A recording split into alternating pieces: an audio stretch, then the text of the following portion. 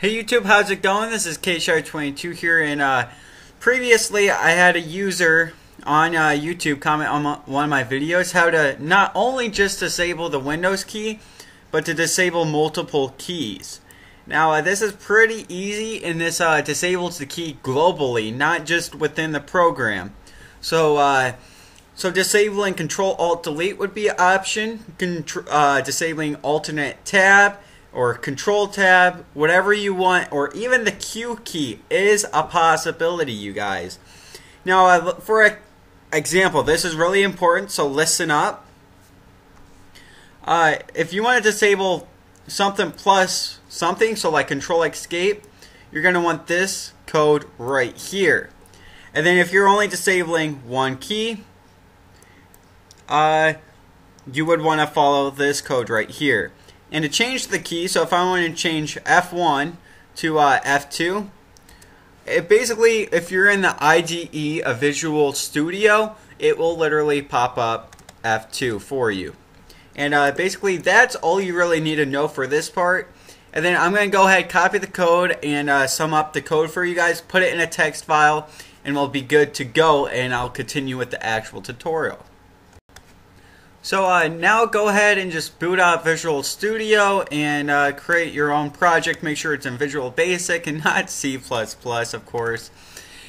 And uh, however, you guys, I would like to know what you guys are using this code for because uh, there's a lot of bad things you guys can use this code for and there's a lot of good things. So make sure uh, you guys tell me because that would be interesting. I don't care which way you're using it for, to be honest. But uh, it's great to hear what you guys have in mind. Now there is one downside about this code is there is no hook. And what I mean about that is you cannot turn it on and off. But we can create a hook. So let's go ahead and say, let's go ahead and create a tool that'll create a hook. So we can make it so this happens only when a form pops up. So we can go ahead and say disable keys. And then uh, I'll get to the code. The code will be in the description, so if you want to just jump into it, go for it. But this is the code right here. It'll be in the description. And then uh, we can just say disable keys. What'll pop up is a little form. And then when that form closes, the hook should be undone, if I believe right. Now this may not be true, and if it's not, then at least you guys don't have to find out on your own.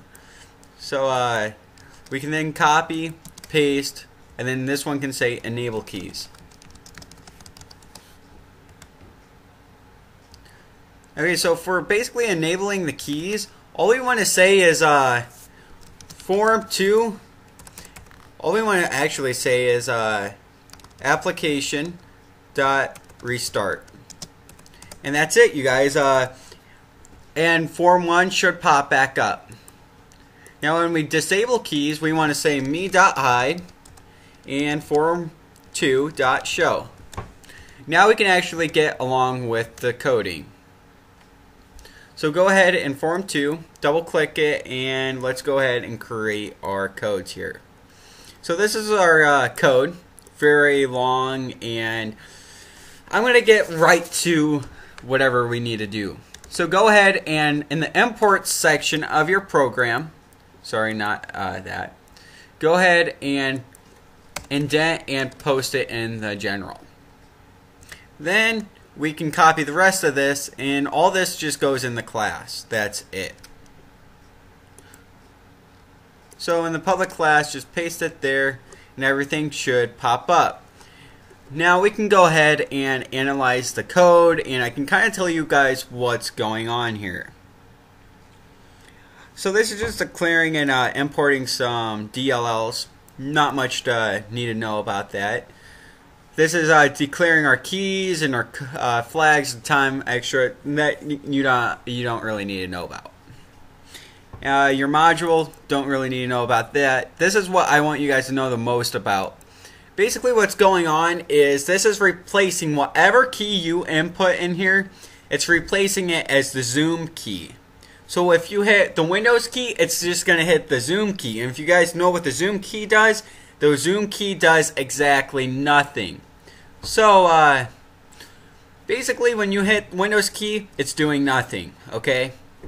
Simple as I think I can make it. So we have several types here. Disabling F2. We have disabling the Alt and the Tab. And these are not abbreviated, uh, commented correctly. Then we have the Control and the down key. And then we also have the control and the escape keys. And if you guys wonder how I'm doing this, is I can see that the key is equal to the control key. I can see that this key is equal to the escape key. And uh, it's just going to create the hook right there.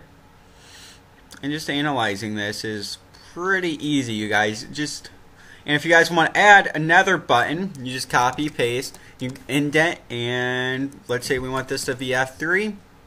Go ahead and put F3. And you can do as many keys as you want. And let's say we want to go on to letters. We can do A. And this is going to disable the A key. Now I hope this is what you guys wanted. So let's go ahead and boot this up and see how this runs for you guys. So as you can see, I can now hit start. When I hit disable keys, no longer can I hit start. I hope you guys can hear it. I uh, F. I don't. we can scroll down, see what other keys are uh, disabled. So Control Escape. Not sure what. I forget what that does. Alternate tab.